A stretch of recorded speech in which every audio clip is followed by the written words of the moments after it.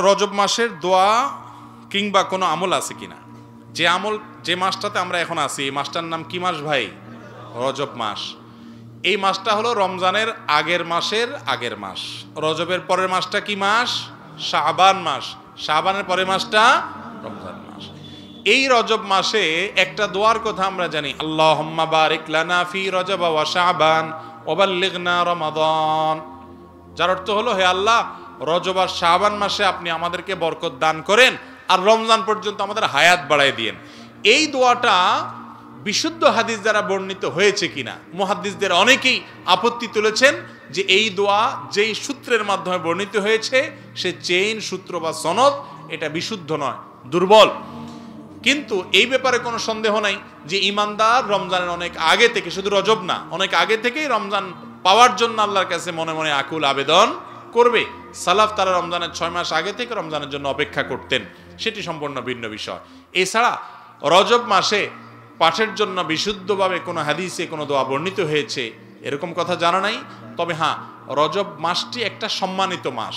সম্মানিত চার মাসের একটা, যার কারণে এ মাসে গুনাহের কাজ করার ব্যাপারে বিশেষভাবে সাবধান, সতর্ক থাকতে হবে। এছাড়া বিশেষ কোনো করণীয় নয় যুদ্ধ বিগ্রহ করা এ মাসে হারাম। শাবান মাসে বেশি নফল রোজা রাখতে হয়, রজব মাসের ক্ষেত্রে বেশি নফল রোজা রাখার কোনো নির্দেশ নাই।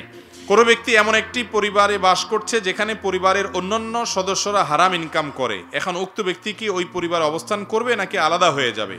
দেখুন, সন্তান যদি প্রাপ্তবয়স্ক হয়ে যায়, আর বাবা যদি শুধুমাত্র হারাম উপার্জন করে, তাহলে সন্তানের কর্তব্য হলো নিজে উপার্জন করে খাওয়া পড়ার ব্যবস্থা করা। বাবার হারাম উপার্জন না খাওয়া। তবে এর মানে এই না যে সে বাবার সংসার ছেড়ে আলাদা হয়ে যেতে হবে। সে উপার্জন করবে, করে উপার্জনের টাকা দিবে বা সেটা দিয়ে বাজার করবে, সে সেখান থেকে খাবে। কিন্তু বাবা মাকে ছেড়ে চলে যাবে, এটা কোনো আবশ্যক নয়। আর এর পাশাপাশি বাবাকে বিশেষ করে হারাম থেকে বেঁচে থাকার ব্যাপারে গুরুত্ব বোঝাবে এবং তাকে নসিহত করবে, এটা তার দায়িত্ব, কর্তব্য। নিজে শুধুমাত্র দূরে সরে গেলাম এটা তো সমাধান হতে পারে না। এরপর প্রশ্ন হলো, বিয়ে করে বউকে খাওয়াবি কি? তথাকথিত এই প্রশ্ন উত্তর কীভাবে দিব? খুব দরকারি প্রশ্ন ভাই। বিয়ে করলে বিয়ে করার কথা বললে বলে বিয়ে করে বউরে কি খাওয়াবি? এই কথা বললে যুবকরা চুপ, আর কোনো কথা বলার থাকে না বেচারাদের। বিয়ের খায়েশ ওখানেই মিটে যায়। তো এই প্রশ্নটা তো একেবারে অবান্তর বা অমৌলক নয়। এই প্রশ্নটা তো কিছুটা যৌক্তিক। কারণ হলো ইসলামও তো আপনাকে বলেছে, আপনার স্ত্রীর মহরের টাকা ভরণ পোষণের ব্যবস্থা না থাকলে আপনি বিয়ে করবেন না, আপনি রোজা রাখবেন। আপনি কি রাখবেন?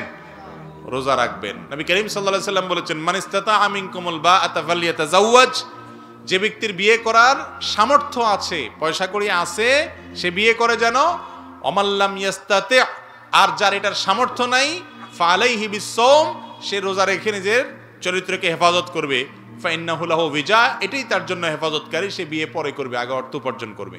তাহলে বোঝা গেল যুবকরা যারা বিয়ে করার জন্য অস্থির, আলহামদুলিল্লাহ, তারা পয়সা করাই কামায়া অন্তত মহরের টাকা জোগাড় করেন আর স্ত্রীর ডাল ভাতের জোগাড় করেন। তবে হ্যাঁ এটা ঠিক যে মুরব্বীরা বা অন্যরা যে বলে, বউ খাওয়াবি থেকে এই খাওয়ানোর যে প্রশ্ন উঠে, এই প্রশ্নটা আমাদের সমাজে মনে করা হয়, খাওয়ানো মানে হলো লাখ লাখ টাকা লাগবে বিয়ে করতে, বিয়ের পরে আবার হাজারে হাজারে কাতারে কাতারে দিতে হবে। এটা না হলে বলে যে বিয়ে করার যোগ্যতা ক্ষমতা হয় নাই, এটা ভুল।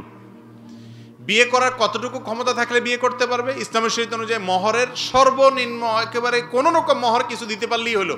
আর ডাইল ভাত খাওয়ানোর ব্যবস্থা থাকলেই সে বিবাহ করতে সক্ষম।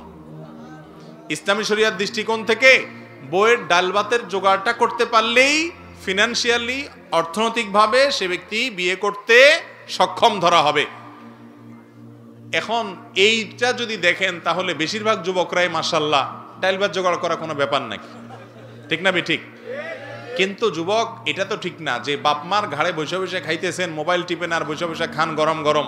এরপরে বিয়ে করে আরেক ঘর থেকে আরেকটা আয়না ওইটারও বসে বসে খাওয়াবেন। আর নিজে কোনো কাজ করবেন না, সেটাও উচিত না। যুবকদের কাজ করা উচিত আর মা বাবাদের মনে রাখা উচিত। তথাকথিত পায়ে দাঁড়ানো আর বউ খাওয়ানো মানে হাজার হাজার টাকা কামাই করা না। চরিত্র হেফাজত করার গুরুত্ব সমাজের মানুষের কাছে ভাবসাবের চাইতে অনেক বেশি। এটা আমাদের মা বাবাদেরকে আল্লাহ বোঝার তৌফিক দান করুন। সবা মেরাজের কোনো আমল আছে কিনা? আমাদের সমাজে প্রচলিত কিছু আমল আছে, সেগুলো করা যাবে কিনা? ভাই, নবী করিম সাল্লাহ সাল্লামের জীবনে মেরাজ হয়েছে না হয় নাই? মেরাজ হয়েছে, এটা সত্য।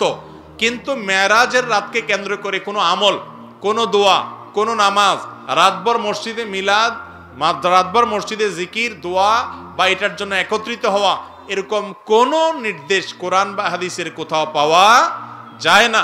এটা আমাদের সমাজে প্রচলিত। সবচেয়ে বড় কথা হলো, মেরাজ, সবে মেরাজ যেটাকে বলা হয়, রজব মাসের সাতাইশতম রাতকে। এই রাতে যে নবী করিম সাল্লাহ মেরাজ হয়েছে, সে বিষয়টাই প্রমাণিত নয়। হাদিস দ্বারা এটি প্রমাণিত নয়।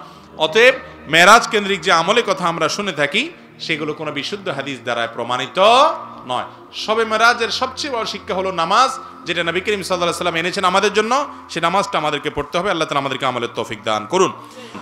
যৌথ পরিবারে নন মাহারাম মাহারাম কীভাবে মেনটেন করব? যৌথ পরিবারে ফ্যামিলিতে নন মাহারাম মাহারাম মেনটেন করাটা একটু কঠিন, কিন্তু চেষ্টা করলে করা যায়। যেমন, যৌথ ফ্যামিলিতে যারা মহিলা থাকেন তারা দেবর আছে, অন্যান্য ভাসুর আছে, বা যাদের সাথে পর্দা করতে হবে এরকম লোকেরা আছে। তাহলে আমরা ছোটবেলায় দেখেছি যে এত আলাদা সংসার করার মতো আর্থিক সঙ্গতি ছিল না। তখন মা চাচিরা বা যৌথ পরিবারে যারা মহিলারা ছিলেন, তারা তাদের কাজকাম করার সময় মাথার কাপড়টাকে টেনে দিতেন, যথাসম্ভব নিজের শরীরকে ঢেকে ঢুকে কাজ করতেন, যাতে করে নিজের শরীরের কোনো অঙ্গ প্রত্যঙ্গ, এমনকি চেহারা, মুখমণ্ডল বা পর্দার কোনো অংশ অন্য কেউ দেখতে না পায়। যৌথ পরিবারে থেকে এটা করতেন এবং পুরুষরাও যারা থাকতেন, তারা বাহির থেকে ঢুকার সময় গলা পরিষ্কার করে ঢুকতেন, সালাম দিয়ে ঢুকতেন, যাতে করে মহিলারা থাকলে তারা সেফ সাইডে চলে যায়, রাস্তা ক্লিয়ার করে দেয়। ঢুকার সময় আওয়াজ দিয়ে ঢুকতেন, বের হওয়ার সময় আওয়াজ দিয়ে বের হতেন। এই রকম ভাবে যদি পারস্পরিক সহযোগিতা করা হয়, তাহলে যৌথ পরিবারেও পর্দা করা সম্ভব। আর যদি দেবর ভাসুররা সহযোগিতা না করে, তাহলে ভাবি চাইলেও পর্দা করতে পারবে না, বেচারি চাইলেও পারবে না। এই জন্য দরকার কোঅপারেশন পারস্পরিক সহযোগিতা। এটা যদি হয়, তাহলে যৌথ পরিবারে পর্দা করা অসম্ভব নয়। চেষ্টা করলে সম্ভব, ইনশাআল্লাহ বিদিনিল্লাহ কিন্তু সবার আন্তরিকতা দরকার। ইচ্ছার বাইরে যদি পর্দার খেলাপ কখনো হয়ে যায়, মুখোমুখি হয়ে যায়, তাহলে এর কারণে গুণা হবে না। যেহেতু এটা কি হয়েছে? ইচ্ছার বাইরে হয়েছে, ইনশাআল্লাহ। এরপরে প্রশ্ন হলো, কবরস্থানে কোনো ছেলে জেয়ারত, কোন ছেলে জেয়ার কোনো ছেলে জেয়ারত করতে যান, তখন তারা কি তাদের ছেলে বা জিয়ারতকারীকে দেখতে পান বিভিন্ন বর্ণনা, মুস্তাদে বাজারের একটা বর্ণনা আরও বেশ কিছু বর্ণনা থেকে বোঝা যায় যে কোনো ব্যক্তি কবরবাসীকে জিয়ারত করতে গেলে কবরবাসীটা জানেন, অর্থাৎ আল্লাহ তালা তাদেরকে জানান। তবে এটা নিয়ে ফোকা একরামের ভিন্ন মতো আছে, কারণ এই হাদিসে সনদ নিয়ে দীর্ঘ আলোচনাও আছে। ইনশাআল্লাহ বিদিল্লা পৃথক কোনো ইয়েতে সেগুলো আমরা উল্লেখ করব। তবে বিভিন্ন বর্ণনা থেকে এটা বোঝা যায় যে কবরবাসীর এই বিষয়টি আল্লাহ তালা তাদেরকে জানান।